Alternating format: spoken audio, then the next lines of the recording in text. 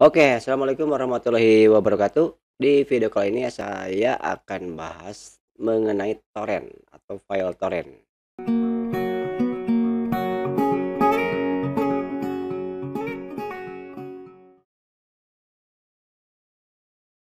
Apa fungsi, manfaat, keuntungan, dan kerugian menggunakan file torrent? Mungkin di antara kalian semua ada yang belum tahu apa itu file torrent.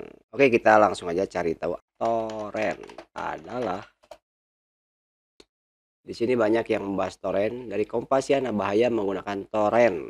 Terus dari Highnet apa itu torrent dan keuntungan. Dari Kaskus mengenal apa itu torrent. Ini dari Kaskus mengenal apa itu torrent.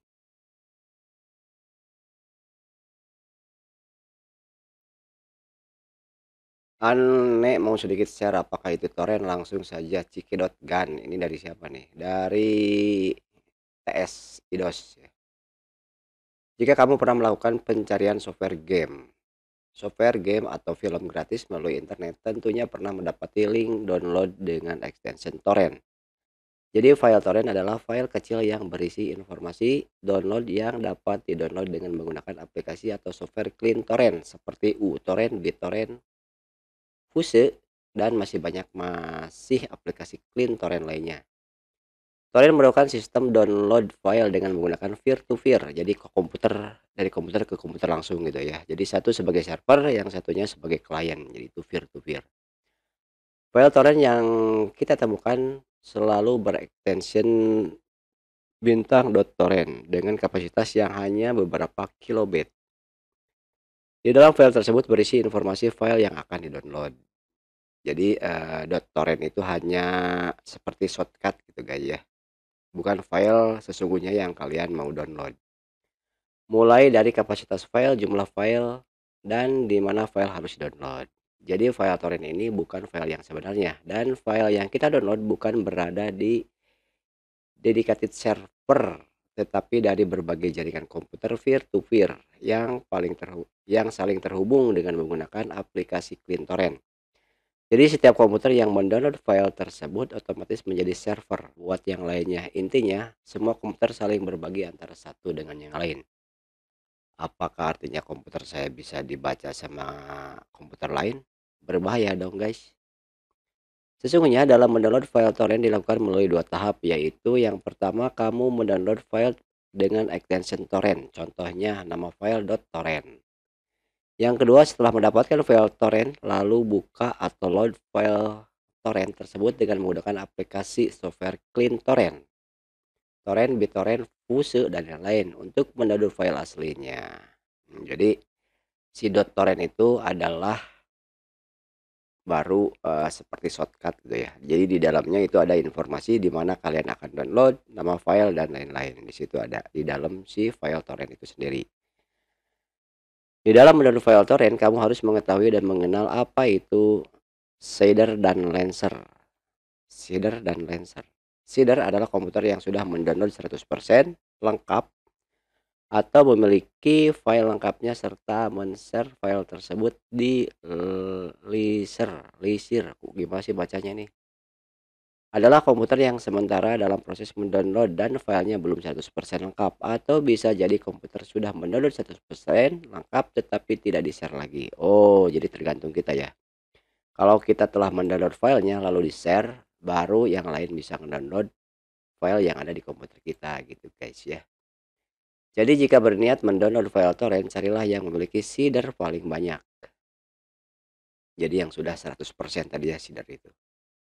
Biasanya informasi ini bisa didapat di web pada saat pencarian file torrent. Ini berarti jika tidak ada seed, berarti download tidak akan selesai-selesai. Makin banyak seed, makin cepat kita download. Apalagi jika semua seeder aktif online saat mendownload file dengan menggunakan clean torrent, nanti akan terlihat jumlah seeder dan lancernya.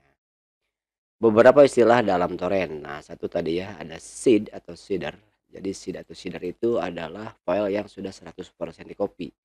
Adalah orang yang telah memiliki full copy dari sebuah file torrent. Kategori seeder ini adalah orang yang membuat torrent awal ataupun orang-orang yang telah selesai mendownload sebuah file dan secara otomatis menguploadnya. Nah, Jadi kalau kita share lagi, jadi kita posisinya adalah sebagai seed atau seeder. Yang kedua list, nah ini gimana bacanya? Leisure, leisure adalah orang yang baru saja mendownload. Jadi ini belum selesai ya mendownloadnya.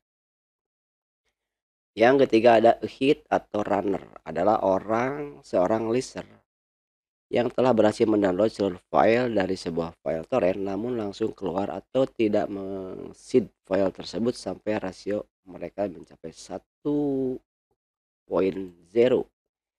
SWAR adalah secara sederhana bisa disebut sebagai ekosistem keseluruhan peer atau user yang sedang terkoneksi mendownload file tersebut. Oh, jadi semua user yang telah mendownload atau yang sedang mendownload satu file yang sama.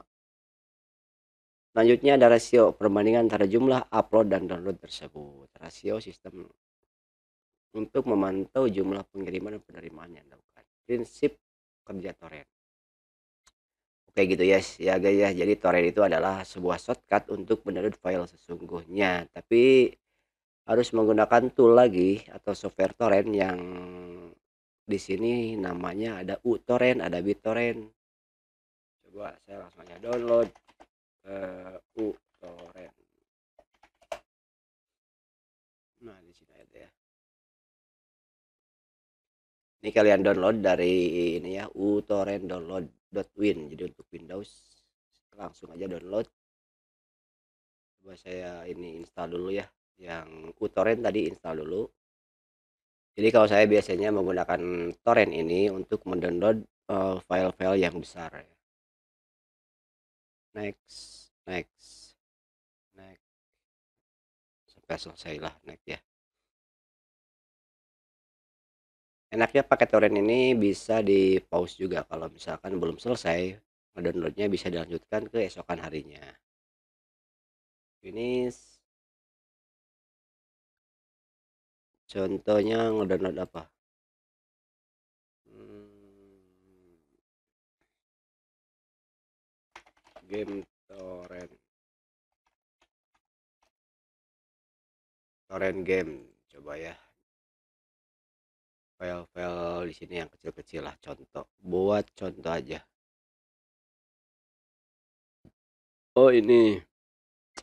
Hmm. Moto Gevi.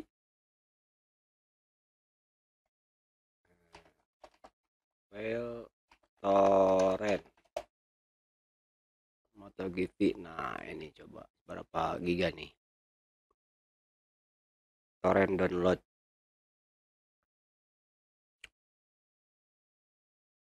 Di sini ada tombolnya nih langsung teman-teman klik torrent download ini 31 12 giga cukup lah ya. Kita simpan di Coba simpan di G terus ke game. Oke, di replace game motor GP eh, game lalu motor GP select lalu add. Nah, ini langsung sedang mendownloadnya sebanyak 12 giga. Nah, kelebihannya kalau teman-teman menggunakan torrent ini bisa di pause nih. Tuh, pause kan. Bisa di pause lalu besoknya misalkan dilanjutkan bisa. Itu keuntungan menggunakan file-file torrent. Jadi melanjutkan ke ukuran atau ke sisa file yang belum di-download udahlah ya gitu. Nanti saya lanjutkan setelah selesai ngedownload. Jadi itulah fungsinya dari torrent. Jadi torrent itu adalah berupa file shortcut.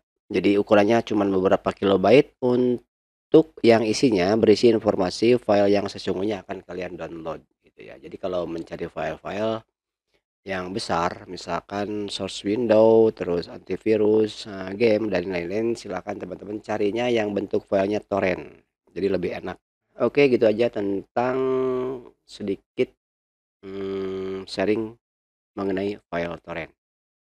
Mudah-mudahan bermanfaat. Assalamualaikum warahmatullahi wabarakatuh.